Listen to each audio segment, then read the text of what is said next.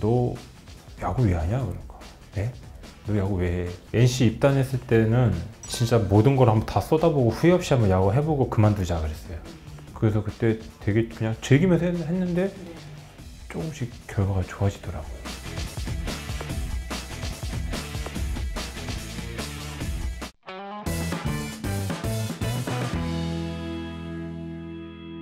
안녕하세요. NC 라이너스 투수 김진성입니다. 와. 요즘에 제가 계속 은퇴, 은퇴 하는 선수들을 만나다 보니까 인사를 부탁을 하면 안녕하세요, 뭐전 투수인 윤희상이 이렇게 하는데 오늘, 오늘 오랜만에 현역에 있는 선수 그리고 한국 시리즈 우승이 끝난 게 얼마 되지 않은 그런 선수를 지금 만나고 있네요. 김진 선수는 정말로 제가 꼭이 슬픽쇼에서 꼭 만나고 싶었던 선수였습니다. 아 영광입니다. 아, 사실 뭐 마운드에서의 투수는 웃을 일은 마- 별로 없잖아요. 진짜 잘 던져서 뭐 중요한 승부를 잡았다면 그 세레머니 외에는 표정의 변화가 없는데 어, 오늘 김진선 선수가 웃는 모습 많이 볼 수 있을 것 같아요. 이렇게 따뜻한 남자였다는 거를. 아 그런가요? 야구를 처음 시작하게 된 계기는 뭐예요? 제가 고집이 너무 세서 음. 할아버지가 고집 좀 잡는다고 좀 먼 친척 중에 야구하는 형이 있었는데 그 형 따라가가지고 야구 구경 다니다 봤는데 제가 유니폼 입고 이제 뛰고 있더라고요. 저는 야구가 뭔지도 몰랐어요. 저는 미술을 되게 좋아했어요. 그림 그리는 거, 오. 색칠 공부. 하면서 뭐 안 하고 싶거나 그러지는 않았어요. 또 그러진 않았어요. 그냥 한것 같아요. 재밌었어요. 아, 재미없었어요. 만약에 야구를 제가 너무 하고 싶어가지고 야구 선수 시켜주세요. 야구 하고 싶어 이래서 야구를 했으면 더 성공하지 않았을까. 음, 서울고에서 성남석으로 전학을 했을 때가 코치님 따라서 가게 된 거였잖아요. 그때부터 제 인생이 파란만장하게 꼬이기 시작한 것 같았어요. 정말 후회하고 있어요. 할아버지는 절대 전학 가지 마라. 서울고 있어라. 계속 그랬는데 그때 고등학교 때 이제 저를 좋은 투수로 이렇게 좀 더 한점 상장시켜 주신 코치님 따라 가겠다고 갔는데 이제 코치님은 한 두세 달만에 또 딴 데 가시더라고요. 네. 어른들 말은 진짜 괜히 맞는 말이 아니구나. 나중에 대해서야 알았어요. 그러면 코치님 가신 다음에 남았을 때는 어땠어요? 그래도 해보자 뭐 이렇게 했는데 많이 안 좋았죠. 이 서울고보다는 여건도 되게 환경 이런 것도 안 좋고 또 집에서도 좀 멀고 전학 가자마자 또 이제 팔꿈치가 아프더라고요. 그래서부터 이제 암흑기를 쭉 스타트한 것 같아요. 거기서부터. 2004년 2차 6라운드 전체 42번으로 SK에 입단을 하셨어요. 근데 1년 유급을 했기 때문에 예, 실질적인 건 2005년에 입단을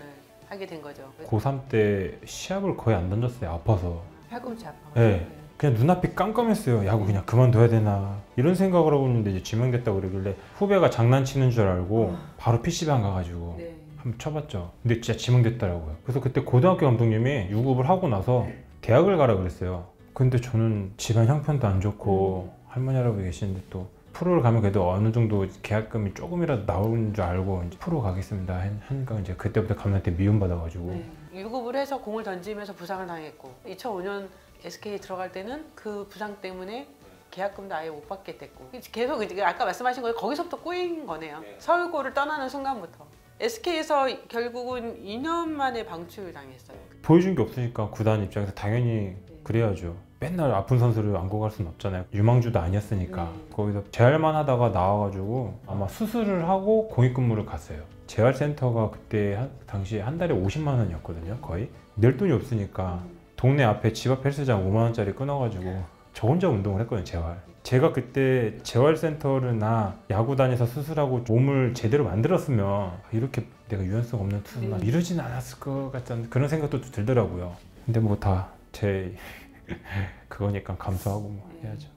그렇게 해서 재활하다가 이제 공익근무를 가게 된 거고 제가 공익근무를 다 끝나고 나서 다 전화해봤어요. 음. 스카우트님들 뭐 팀들한테 전화해보고 오죽하면은 김경태 SK 음. 코치님한테도 연락드려서 좀 어떻게 안 될까요? 막 했는데 이제 한대화 감독님 전화번호 주시더라고요. 네. 야 전화해. 네가 그- 진짜 간절하다면 저 진짜 전화했어요.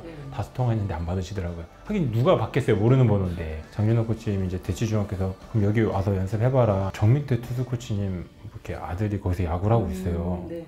코치님께서 정민태 코치님 소개시켜 준 거예요. 몸 한번 만들어 봐라. 잘 만들고 있어라. 한번 테스트 한번 봐보자. 이렇게 하다가 인천고등학교 가가지고 테스트를 봤죠. 네. 그러다 이제 그때 44인가 좀 던져가지고 코치님이 음, 합류해 그래가지고 그때 이제 넥센에 합류하게 된 거예요. 뭐 어떤 마음으로 가셨어요 그때?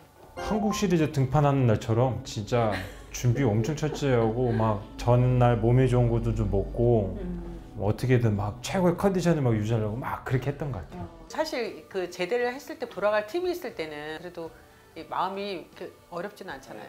근데 제대하고 나 돌아갈 팀이 없다 그래도 할 수 있을 것 같은데 이런 게 계속 여기 있었어요 가슴에. 그래가지고 계속 그렇게 도전을 해보려고 했던 것 같아요. 살아남기 위해서 다 넥센 유니폼 입는데 저 혼자 SK 유니폼 입고 본다는 자체도 좀 창피하고 부끄러운 그러겠는데 그때 당시 뭐 제가 뭐 그 그런 가르쳐지가 아니니까 내가 갖고 있던 SK 유니폼 입고 이제 가신 거네요. SK 유니폼 바지랑 네. 언더티랑 네. 위에 SK 연습복이랑 모자는 다른 거 썼어요. 그 통보를 언제 받았어요? 테스트 다 끝나고 이제 집에 가다가 전화 받았어요. 네. 합격했다고 해서. 아 가는데 받았구나. 네. 얼마나 좋았을까. 날아가듯이 기뻤죠. 히어로즈 유니폼을 입고 시작이 된 거네요. 히어로즈에 주로 2군에 계셨어요. 3년 동안 신고 선수였더라고요. 아 2년 2년 반. 2년 반. 네. 그리고 또 강진. 또 NC도 강진이었잖아요. 아 예, 그때 훈련 훈련 첫 처음. 처음에 네. 캠프가. 네. 어, 난 근데 그거, 그걸 보면서 야 김진선 선수는 이 강진이 되게 싫었을 텐데 선수들은 거기를 막 유배지라고 막 그랬었잖아요. 정말 유배지예요. 정말이에요. 자장면 시켜도 다 불어서 오고 치킨 두세 마리 시키면 안 와요. 이렇게 그때 올라가기가 좀 힘들었어요? 몸이 계속 안 좋았어요? 처음 들어가서는 괜찮았는데 두 번째 시즌 때부터 2군에서 이제 시작하는데 또 팔꿈치가 아프더라고요. 그래가지고 또 나왔는데 정명 코치님께서 그때 NC가 이제 창단한다는 그게 있으셔가지고 트레다만 봐봐라 너될것 같다. 그때 상 항상 보면 뭔가 터닝 포인트 한 지점에 어떤 분이 항상 계셔요. 네. 다 처음엔 정민태 코치였고 네. 그 다음에 넥센 나왔을 때는 이제 정명원 네, 코치가 네. NC 다이노스 이- 예, 테스트를 또 추천해 줬었죠. 2011년에 웨이버 공시되면서 네. 이제 히어로즈 나왔어요. 그때도 사실 암흑 같은 그런 시기였을 거 아니에요. SK에서 방출될 때보다는 조금은 낫더라고요. 아. 어떤 기분인지 이제 네. 아니까 나온 자체가 조금 안 좋았었는데 그나마 다행히 도전할 기회가 있는 팀이 있으니까 그때 당시보다 좀 나은 것 같았어요. 음. 그래서 할아버지 할머니한테 두 번이나 방출당했다는 얘기를 전해야 되는 상황이었었잖아요.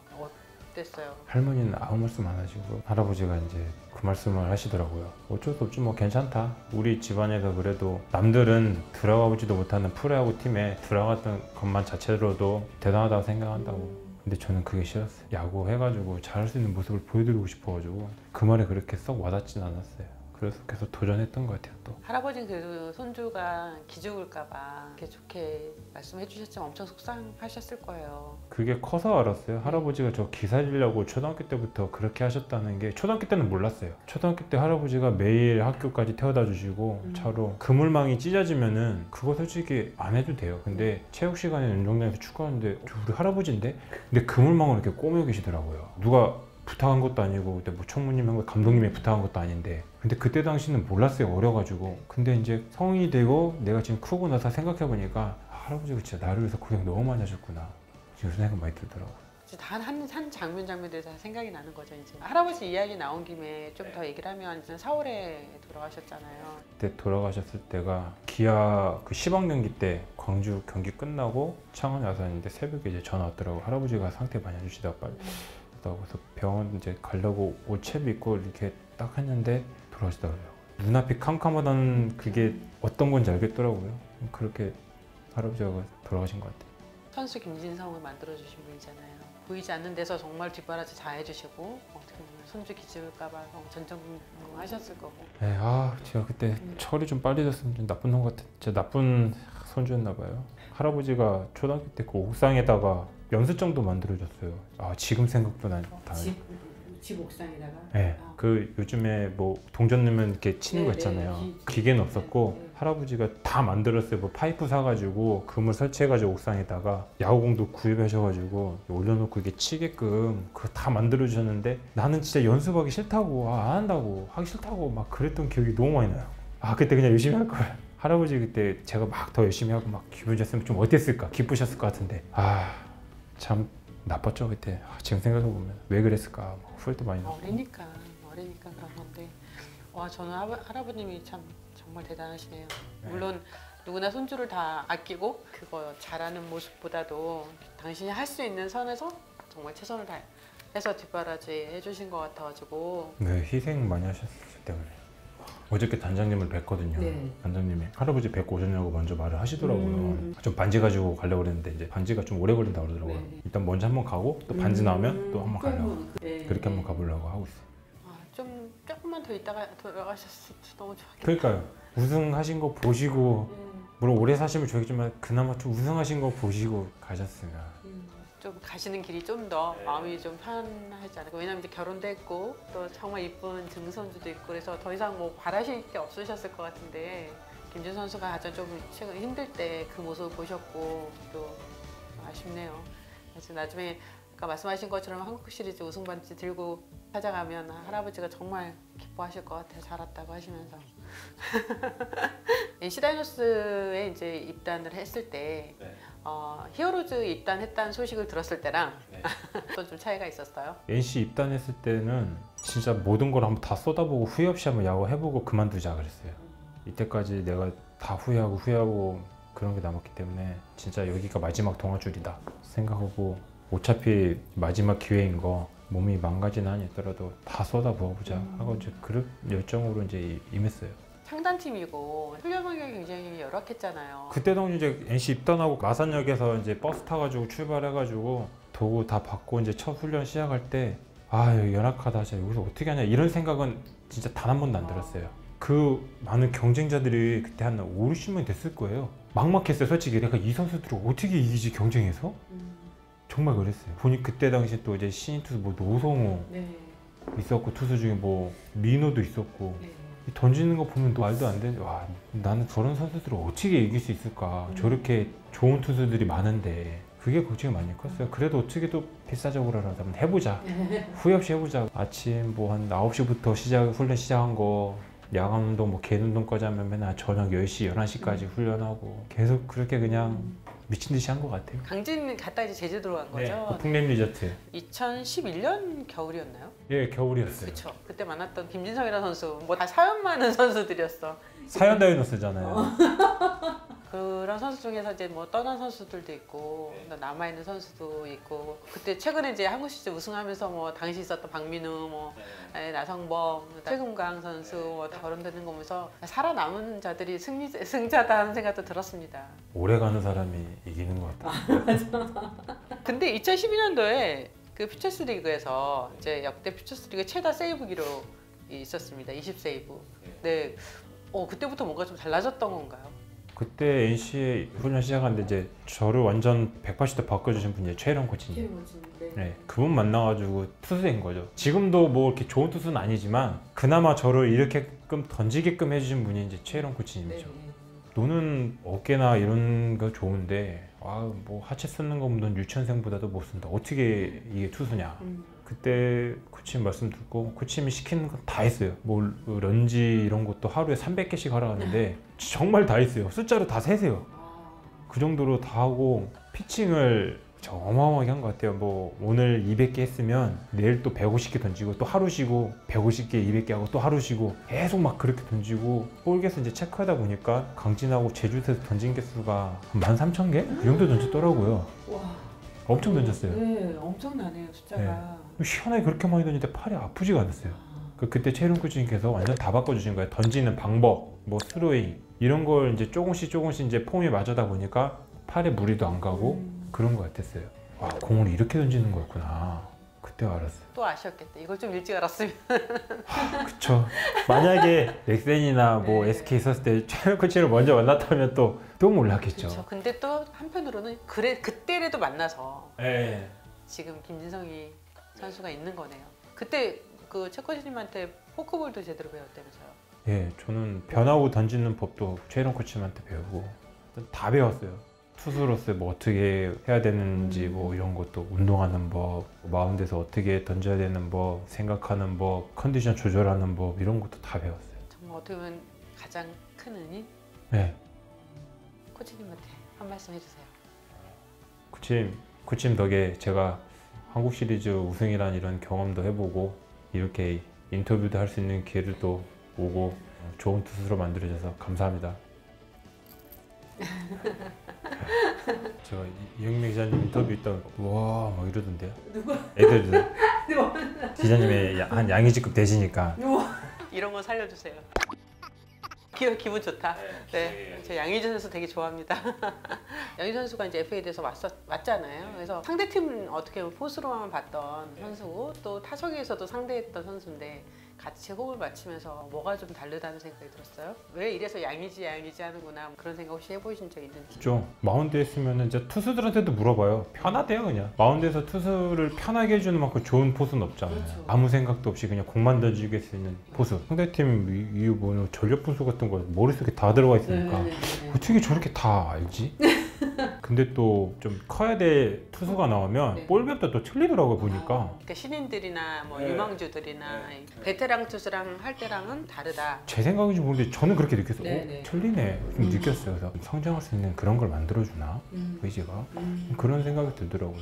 저는. 2013년도에 NC가 1군 경기를 시작하게 되면서 프로에서 첫 세이브를 기록한 경기가 생겼어요. 4월 13일 SK전이었는데 와 그때 감독님께서 마무리 투수라고 하셨을 때 퓨처스 리그에서는 그런 마음이 안 생겼었거든요. 근데 저는 이제 13년도 때가 첫 1군이잖아요. 네. 제가 되게 뭐라 그럴까요? 그때 당시는 막 마운드에서 올라가서 지금처럼 그냥 막 던지면 되는데 위축이 많이 됐어요. 와, 유명한 선수도 많이 오고 내 동기들은 다 이렇게 커 있는데 좀 되게 창피하기도 해가지고 수많은 관중 앞에서 던져본 적도 네. 없으니까 내 할 것만 하면 되는데 남들이 나를 어떻게 볼까? 나를 뭐 어떤 투수로 보- 보고 있을까? 이런 생각이 컸던 것 같아요. 음. 그러니까 막 위축되고 자신감을 가져야 될 때 자존감 계속 낮춰주고 혼자 음. 스스로 근데 그럼 2014년엔 뭐가 좀 달라진 거예요? 그때 박명환 선배님이 오셔가지고 같이 러닝 뛰다가 너 야구 왜 하냐 그러니까 예? 너 야구 왜 해? 왜 이렇게 열심히 하려고 막 잘하려고 그러니까 그냥 할 수 있는 게 이거밖에 없어서 먹고 살려고 하는 거 이렇게 말씀드리니까 박명환 선배님께서 즐기라고 이렇게 야구를 하면서 즐겨보라고. 넌 내가 보기엔 즐기지 않는 것 같다고. 그게 되게 크게 와닿았어요. 아 내가 즐기지 않고 그냥 해야겠다는 것만 하는구나. 계속 혼자 스트레스만 받고 어떻게 할까 막 걱정만 하니까 즐겨보라고. 너를 위해서 야구해보라고. 그게 터닝 포인트가 좀 된 것 같아요 14년도 때. 그래서 그때 되게 그냥 즐기면서 했- 했는데 조금씩 결과가 좋아지더라고요 막 소리 지르고 이렇게 나갔어요. 야구장에서 그렇게 소리 부르진 적은 없었던 것 같아요. 보이면 보인 대로 막 이렇게 하고 이런 기분을 느끼려고 우승을 하는구나 아, 이런 감정들을 매년마다 느꼈으면 얼마나 좋았을까. 이영미의 셀픽쇼 좋아요 구독 알림 설정 부탁드립니다